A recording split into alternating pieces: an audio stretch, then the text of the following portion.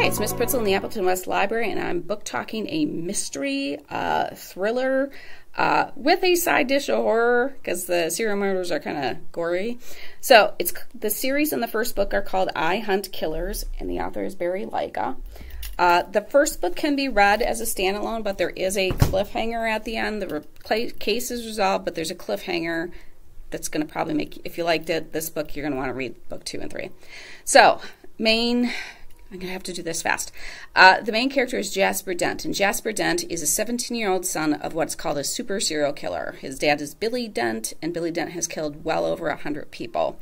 And Billy Dent is now in prison. But Jasper has been raised by this person who did not hide what he did from Jasper. He was raising Jasper to be his protege, to be even bigger and better than Billy was. So Jasper has some issues. Uh, Jasper does have some a girlfriend and a good friend, uh, so that really helps. And Jasper is trying really hard to make sure that um, all the knowledge he has gained from Billy that he is going to use it for good. So this book starts out where Jasper is observing a crime scene. Uh, in his small town, he lives. They don't really say where this town is. Uh, so he is observing the crime scene. He uncovers some clues that the police do not. He has a good relationship with the police chief. He convinces the police chief that this is a serial killer or tries to convince him. Police chief doesn't believe him. Jasper finds clues, and Jasper is able to figure out yes, this is a serial killer. The serial killer goes by the name The Impressionist. And Jasper and his friends are able to help Jasper solve the mystery and catch the killer but it ends on a cliffhanger that leads to books two and three. So you can stop with this book if you're okay, like, hey, I'm okay with that cliffhanger. Um, so the second book is Game, and the third book is Blood of My Blood. Now, if you read Game, it's not totally complete, like it ends on another cliffhanger. Thankfully, all three books are out. You can read them one, two, three because uh, I would have been really mad if I had to wait a year. So, uh, game Jasper is drawn into New York uh, city case by an NYP detect, uh, NYPD detective um, to help solve the serial killings that are happening in New York City. And Jasper, once again, is able to see things and figure out things that the police do not because Jasper thinks like a serial killer. So uh, Connie is also drawn into this. Um, she's drawn into this by some anonymous texts that make her believe Jasper's in danger and she can help him. Um, yeah.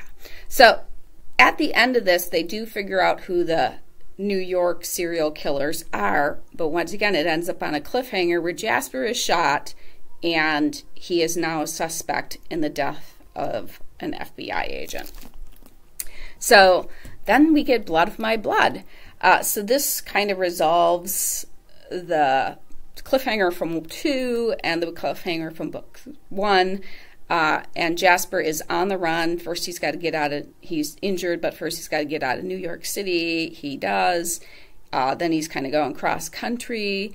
Uh, but then he's also got to figure out, you know, other things. And Connie, Connie has survived, but is really injured. Um, so once again, he and his girlfriend and his best friend Howie are figuring things out as they go along. So I highly recommend this. Now I read another book by Barry Lyga this summer. Uh, but this series has been on my list to read, but sometimes it's hard to commit to a series. So summer is always a good time for me to do that.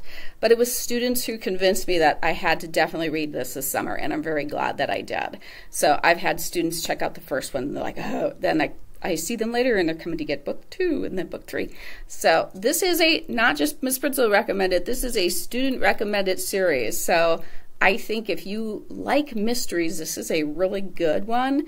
It actually reminded me of a lot of I pref- mystery fiction is my preferred adult reading if I'm reading for the fun of it. it's my preferred adult reading and this reminded me of that because of the serial killer angle and some of the gore. So I will have to say that they're this they describe some of the things the serial killers do in some detail. so um, yeah, if you like I said, if you like your mysteries and you can handle some gore with it, um, I think you will really enjoy this. There might actually be some horror people who would actually enjoy this because some the crimes are pretty horrific. So if this is not your cup of tea, I will help you find something else. Otherwise, have a fantastic day and keep on reading. Bye.